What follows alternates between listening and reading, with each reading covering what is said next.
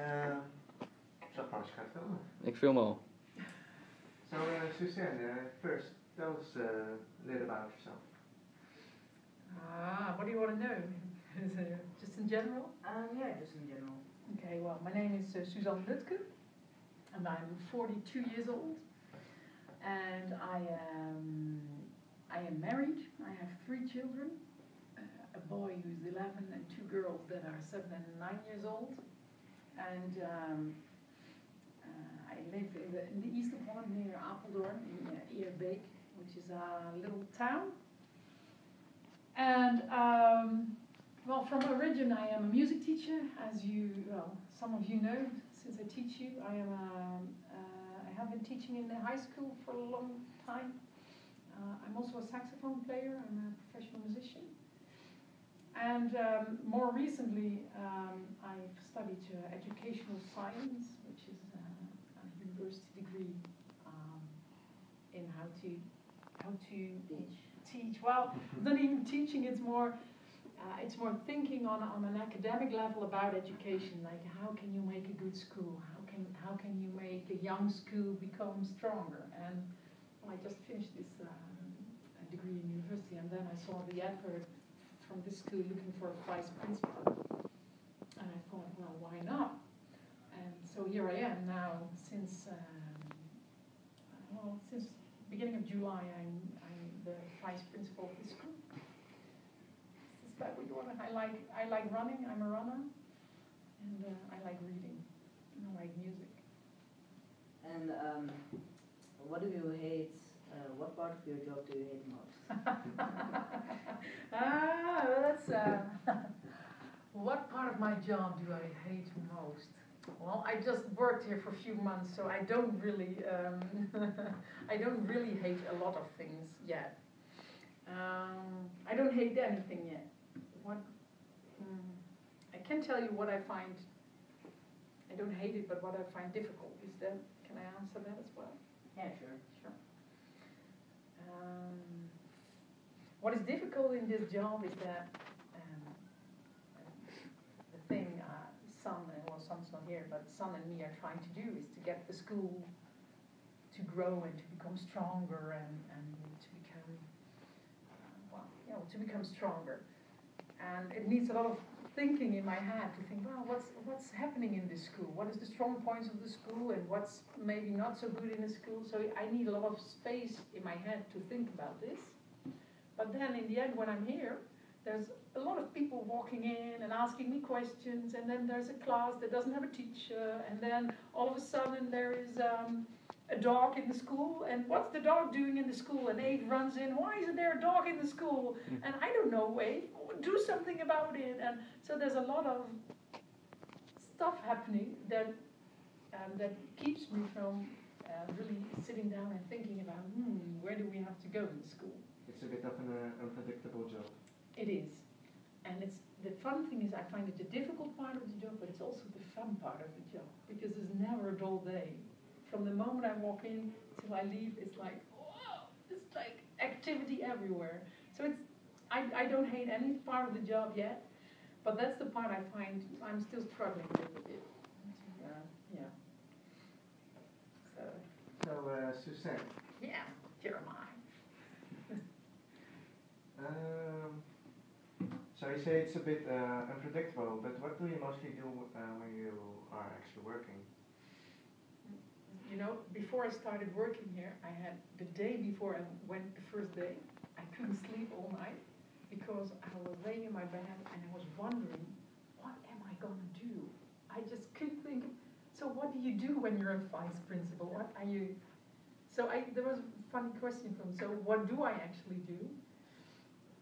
Um, well, um, when I first started my job, I took I put a lot of energy into meeting all the people, meeting students uh, as yourselves, meeting teachers, meeting uh, AVE, meeting the secretariat, you know, and just talking to people like, hi, who are you and what do you want to do and what's your vision in education? So I talked a lot and I really spent almost the first few weeks talking to people, like every evening I had a sore throat from talking. And what I do now is um, there's a few things in the school that are my responsibility. For example, uh, the, the ICT um, situation. So there's we have a Quintplan, as you know, and we have um, itslearning as a ELO platform, and we've got we've got all different systems in the schools, but they're all different systems. And I'm for now I'm uh, designing a new situation for for the school. So I'm talking to people, to students, to teachers. What do we need in the school? And then I take it up to with other people to get a design a new environment for the school. So that's again a lot of talking. And then in the end I sit down and think, okay, I've got all this information. What what's it gonna be? I'm gonna make a decision about this. Um, also, what is a lot of uh, takes a lot of my time is the guidance of teachers, who, uh, well, in the end, I'm sort of their, of course, formally I'm their boss, but I don't, I don't feel like being their boss. I feel like I'm there to guide them in their work. So I talk a lot to teachers that are either having a great time or, you know, need some, like, can you help me out soon? I don't know how to deal with this. So a big part of my job is, again, talking to teachers and helping them. And I think a lot together with San about how to get this school a true Montessori school, how to to continue even when we're growing that trust is the basis of what we do. And we talk a lot about how can we keep this and how can we really be a different school. And uh, San and me discuss this a lot, but I also discuss this a lot with, well, before, for example, people like Roger, your teacher, like, okay, how, how can we do this? How can we not become just one of the schools, but continue to be Montessori, say, in Flevoland, to be special? So this is sort of the things I uh, put it down to it. I basically talk to people, and I make decisions, but um, I talk and I listen, and I try to figure out what's the important issues in the school for now. Maybe, yeah. Um, but you're also a uh, music teacher, right? Um, so if you could, you uh, needed to choose between teaching music or being vice principal, what would you choose? Oh, here's a conscience question. Huh, that's a beautiful question. And of course, I made the decision because I'm here and I'm a vice principal, right? You're also a teacher. Yeah, I'm also teaching music, but my teaching job is very tiny. Um, you know, music is my heart.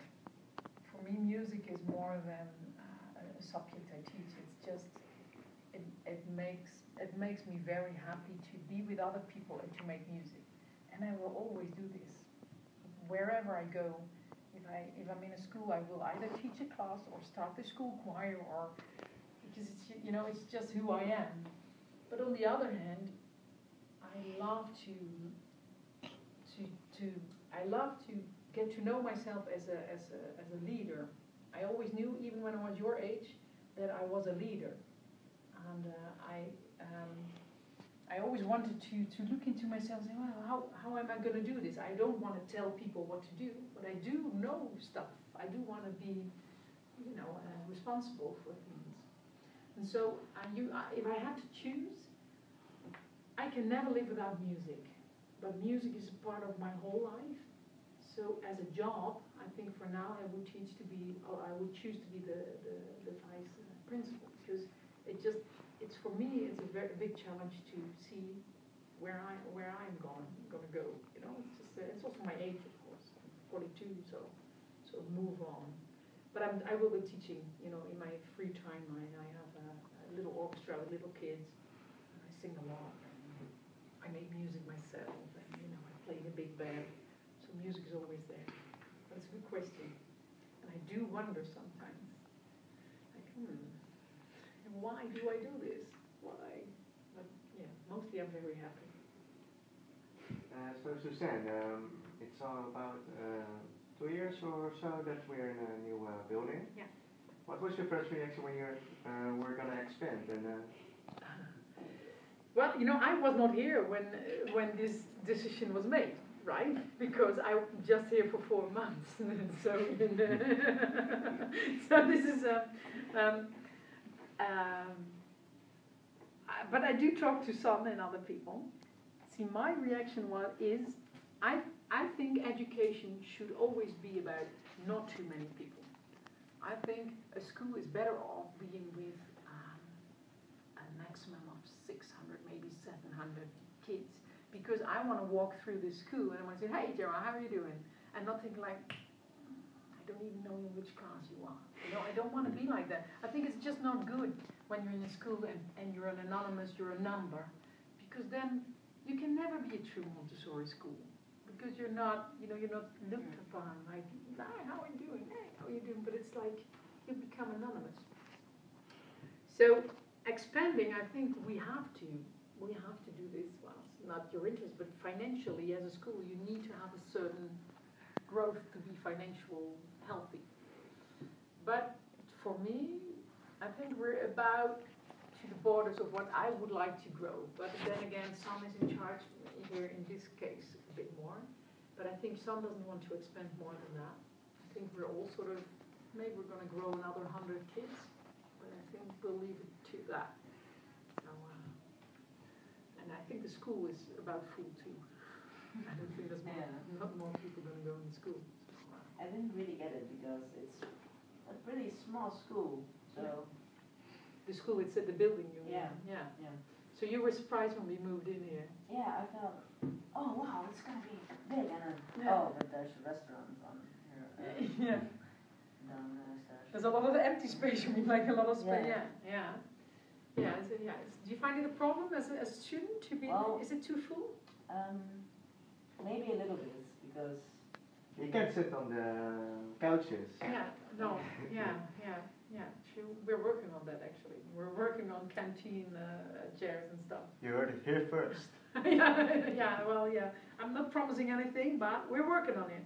Oh, I say this a lot too in my job. I'm not promising anything, but I'm working on it. It's part of my job.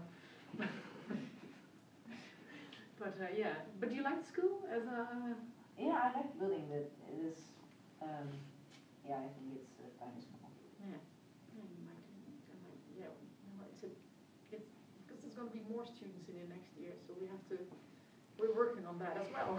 I'm working on that. Yeah, well, okay. So I think we're done, or? Yeah. Yeah. Thanks for your time, Suzan. You're welcome. It was a very pleasant time to you. And I'm very curious when the program is done. Maybe we can, if it's it's cool, maybe we can put it on the on the website of the school as a you know as a yeah you know as a, as a commercial thingy for the school. Uh, we talk about uh, that with our sponsors, so uh, That's good. oh, you want to have money for that? Oh, yeah. Yeah, our manager doesn't really like us to grow big because, Uh, you want to be have personal contact. You don't want to be a number. Yeah. Well, yeah. it could be possible, but uh, you should uh, put a YouTube link uh, on the school site. then. Yeah, yeah, maybe we can, maybe we can embed it in one, uh, some, yeah. We're gonna work on that, but I, it was very pleasant to talk to you guys, so thank you very much, Thank you. thank you. And, uh, anytime you can. Thanks.